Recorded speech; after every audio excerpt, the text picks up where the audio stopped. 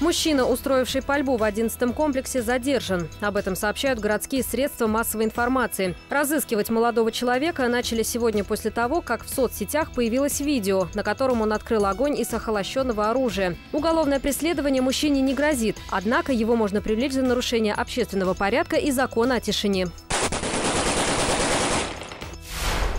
Сегодня стартовал ремонт Московского проспекта и улицы Нариманова, с которой начали работы строители. Всего, напомню, предстоит отремонтировать 16 километров дорожного полотна. Тендер на реконструкцию выиграл Камдорстрой. Стоимость работ оценивается 800 миллионов рублей.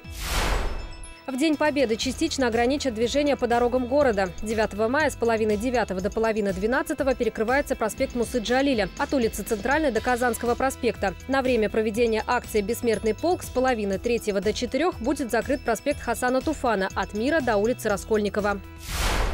Ветеранов Великой Отечественной бесплатно обслуживают в ВИП-зале Бегишева. До 12 июня в аэропорту каждому ветерану и одному его сопровождающему доступна внеочередная регистрация на авиарейсы, а также предложено бесплатное размещение и питание в ВИП-зале аэропорта. Для получения льгот необходимо показать удостоверение ветерана Великой Отечественной войны.